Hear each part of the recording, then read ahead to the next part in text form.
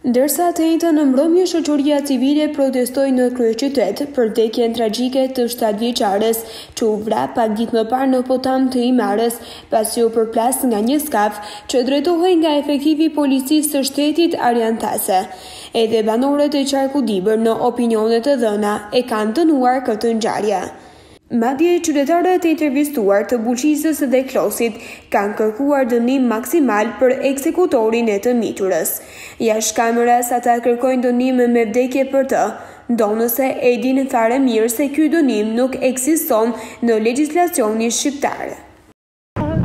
Sipas mendimit tim, ai meriton një dënim të përjetshëm. Besoj që të ndërgjegjësohen gjithë qeveria dhe besoj që të japin një vendim që duhet. Kriminel, ka kriminel të vrasë fëmijën në det. Po dënimin është si ç'kanë thonë që është ato të po them unë. Të marrë dënimin maksimum që ka. Po tashti fëmija e din vetë shteti se sa çfarë dënimi, se ke fëmija nuk prek asi gjë, fëmija është ka qenë i pafajshëm, t'i jepet maksimumi, edhe fëmija im me qenë t'i jepet maksimumi dënimi.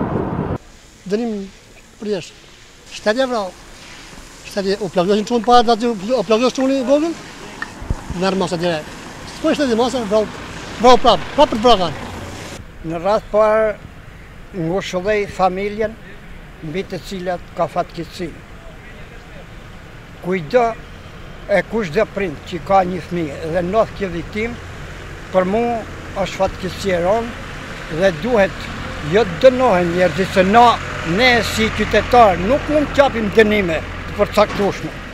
Po ne dënojmë gjestin që ka ba ai ushtarak, gjesti, sepse gjesti, mbi të gjitha ai është ushtarak, oficer, komisar, ça është ai nuk e dim. Në vdekje, ka vra një fëmijë të vogël. Edhe edhe ai ka dënim të madh. Për ta. Dënohet nga pesëmbëdhjetë ditë burg ai njeri, se ka vrarë një fëmijë. O gjynah. Të intervistuarit të fajësojnë për ngjarjen e rëndë Policinë e Shtetit, si dhe i bashkohen thirrjes së shoqërisë civile për dorëheqje të menjëhershme të ministrit të Brendshëm Bledi Çuçi, drejtorit të përgjithshëm të Policisë së Shtetit Gledis Nano dhe ministres së Turizmit dhe Mjedisit Mirela Kumbaro. Nuk mund të përjashtohet qeveria se s'ka faj. Qeveria është fajtore dhe duhet të marrë përgjegjësitë e saj. Ministrat janë fajtorë dhe duhet të marrin përgjegjësitë e tyre.